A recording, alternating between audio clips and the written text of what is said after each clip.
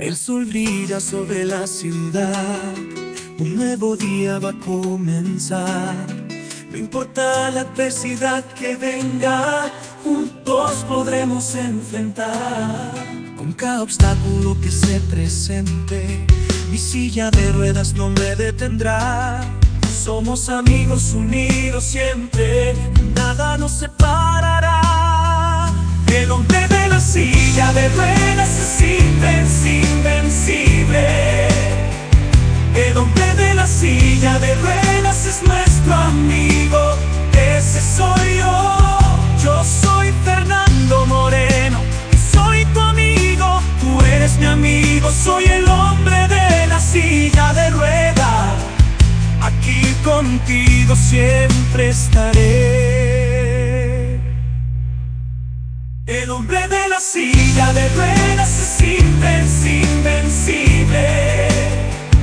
El hombre de la silla de ruedas es nuestro amigo, ese soy yo. Yo soy Fernando Moreno, soy tu amigo, tú eres mi amigo, soy el hombre de la silla de ruedas. Aquí contigo siempre estaré.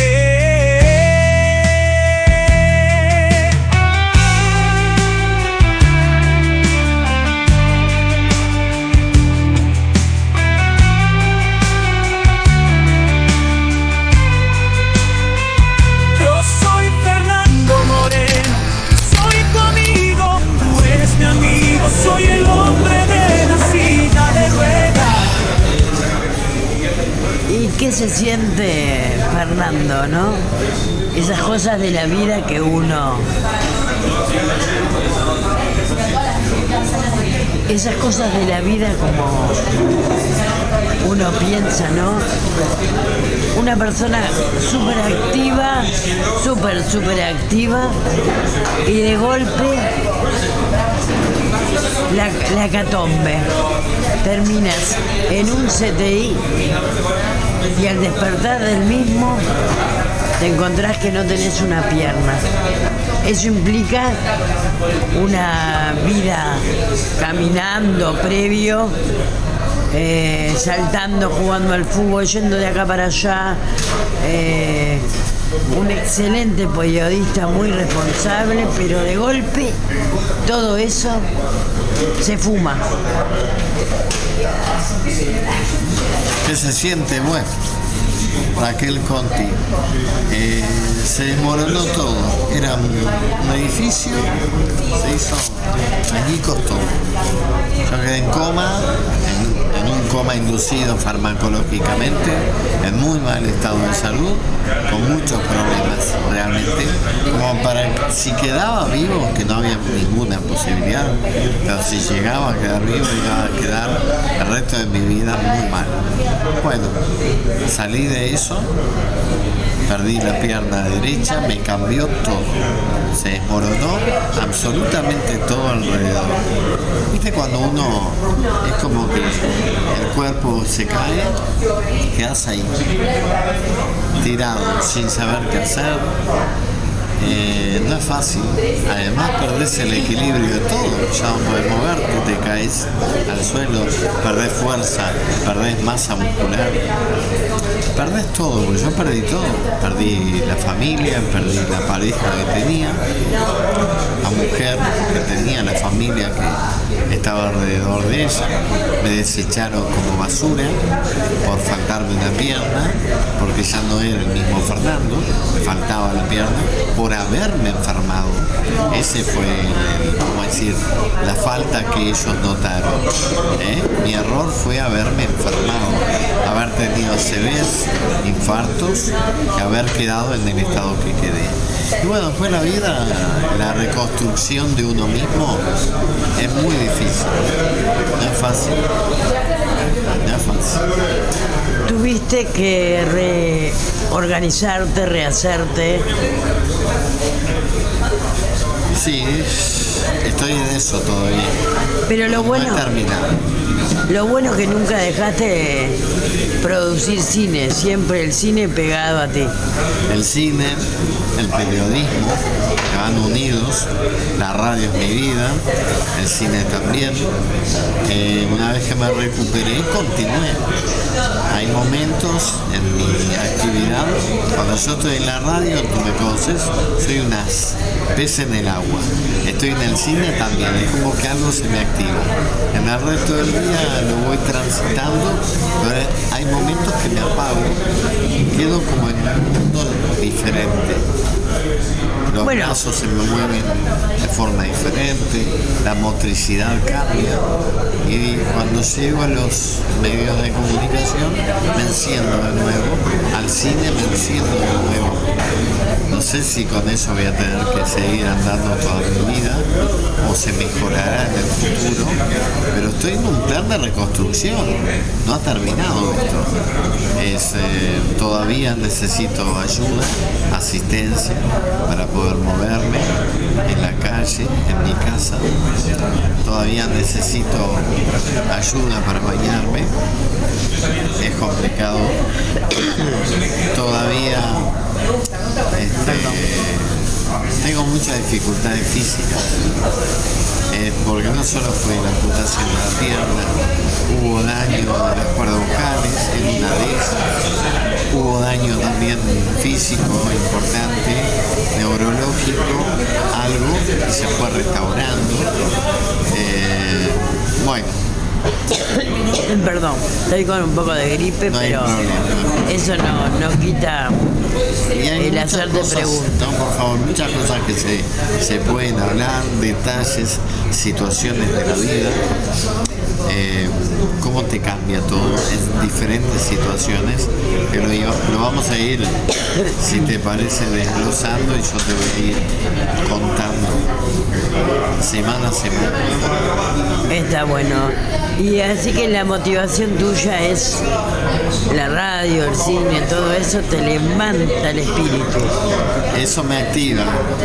Soy, vos conocés un Fernando eh, con grandes problemas motrices, motricidad, pero cuando llego a la radio, que además tengo que subir ahora sentado, haciendo fuerza con los brazos, eh, y luego agarrándome de la reja para poder parar y llegar al estudio, es soy otro Fernando dentro del mismo Fernando, alegre, feliz, motivado. Con el cine lo mismo. Solo en el cine voy en la silla de ruedas. Pero yo no puedo caminar. Y quiero caminar. Con una pierna biónica, una pierna artificial, se puede caminar. En buen estado. Sí, eh, te operan, es- tiene inteligencia artificial, es muy cara. Todo el tratamiento, la pierna, todo, todo, todo, más de 120 mil dólares. Es un dinero que no tengo.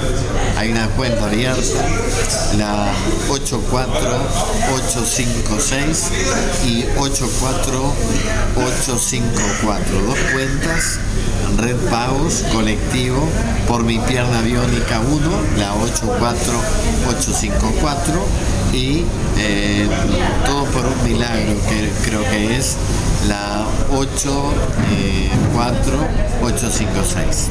¿ah? La Red Pagos si quieren colaborar para que yo pueda comprar la pierna biónica estaría realmente muy agradecido. Así que gente a colaborar, a poner empatía y amor para que Fernando pueda volver a caminar, para que tenga un nivel de vida decoroso y a su vez eh, pueda, porque indudablemente con una pierna así es como volver a caminar pasito a pasito, eh, momento a momento, hasta lograr que vuelvas a estar en forma horizontal, no todos los días, ni la silla, sino en forma vertical. Ahí está. No importa porque eso se, se saca. Está activo, activo, activo de vuelta. Sí. Te iba a contar que hace un tiempo me fueron a hacer una entrevista, o sea, me pidieron para hacerme una entrevista en un estudio del CEN.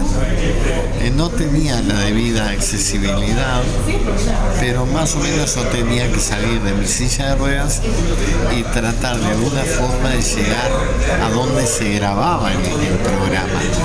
Y tuve que ir eh, también subiendo por la escalera como lo hago en la radio, pero en un momento dado y por 17 metros de largo tuve que arrastrarme como un gusano hasta el estudio y me sentí realmente tan mal ante esa situación. Además perdí la fuerza en los brazos, querían arrastrarme para que yo llegara y dije no, prefiero hacerlo yo, aunque me cueste. Y llegué, me costó subirme a la silla y esas situaciones son tremendas. No se tenía que haber cortado la pierna. Yo siempre lucho desde adentro. Hubo una persona que dijo, hay que cortarle la pierna y convenció a los médicos y me cortaron la pierna. No tenía que haber Vamos, tus manos, la preocupación no, porque el corte fue por encima de la rodilla. eh, Sí. Y estas manos nerviosas que no saben cómo expresar lo que se va sintiendo, ¿no? No, no, no, está, no es que esté nerviosa, son una forma de expresión más de la que de pronto me ves en mi rostro y en mis palabras. Uno también gestualiza con las manos. Pero no se debió haber cortado la pierna y se cortó y provocó muchos problemas de salud que gracias a Dios, porque por Dios estoy vivo acá, muchos me dicen, la mayoría sos una... eh, Una máquina. no, no, no, como es de vida. Un ejemplo de vida. Y podés dar charlas y podés hablar con otras personas que están cansadas de vivir para que se animen a luchar contra lo imposible y seguir viviendo, que es lo que yo hice y sigo haciendo cada día.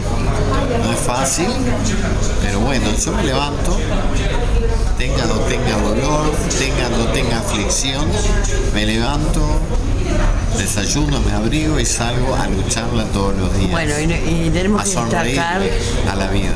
destacar, fuera de sonreírle a la vida con todas estas dificultades, explicarle a la gente cómo es el tema de el efecto fantasma que es bastante molesto.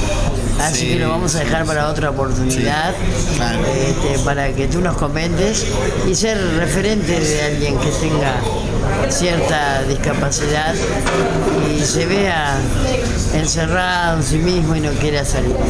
Acá tenemos un ejemplo de vida, como bien lo dijiste tú, y bueno, siempre va a haber alguna escucha que va a decir pum para arriba por Fernando y por todo aquel que no puede salir de ese bucle por distintas razones de discapacidad. Muchas gracias a ti Fernando y bueno, eh, en cualquier momento estamos dialogando de nuevo. Eh, no, gracias a ti Raquel Conti, así comienza esta nueva serie que es discapacitados.com, así se llama la nueva serie y el hombre de la silla de ruedas. Con ese tema maravilloso Sí. que creaste con la IA, este, el hombre de la silla de Sí, ruedas. agradezco a ti Raquel Conti por esta entrevista que es el inicio de esta nueva serie llamada El hombre de la silla de ruedas. Y estoy realmente muy muy agradecido y bueno, semana a semana iremos charlando, iremos contando cosas de mí, la gente que me frecuenta, eh, cómo ellos también viven mi incapacidad, mi, perdón, está mal dicho, mi discapacidad, el estar en silla de ruedas, cómo cambió la vida de muchos. Iremos conversando con personas que han estado y que siguen estando en mi vida, que son un gran apoyo para mí. Y bueno, cómo vive una persona, en este caso, que les habla, Fernando Moreno en silla de ruedas, cómo te pueden cambiar la vida. Y, bueno, solo digo esto, si la persona que estaba conmigo hubiera confiado en lo que yo le decía, de que siempre lucho desde adentro, hoy seguiría teniendo mi pierna, seguiría luchando y seguiría pudiendo trabajar. Y este, hoy no me permiten trabajar y eso es un tema doloroso para mí porque cómo vivís, cómo seguís adelante. una jubilación realmente no te da para vivir. Al No, contrario. indudablemente. Y- Y, es el problema de varias gente, no solo discapacitada, sino sí. gente común. Sí, claro, que desean un trabajo para poder salir adelante. Bueno, Raquel, seguimos en la semana que viene. Bueno, hasta la semana que viene y no nos podemos olvidar de esta historia que tenemos entre manos. Yo soy Fernando Moreno, soy tu amigo, tú eres mi amigo, soy el hombre de la silla de rueda. Aquí contigo siempre estaré.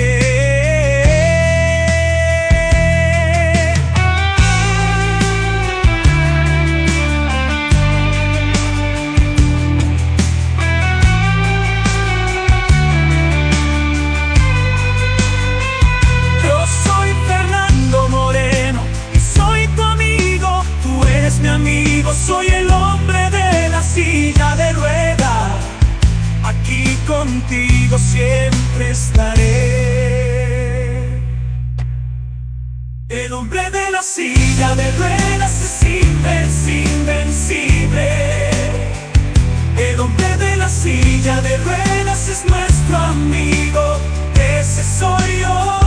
Yo soy Fernando Moreno, y soy tu amigo, tú eres mi amigo, soy el hombre de la silla de rueda. Aquí contigo siempre estaré.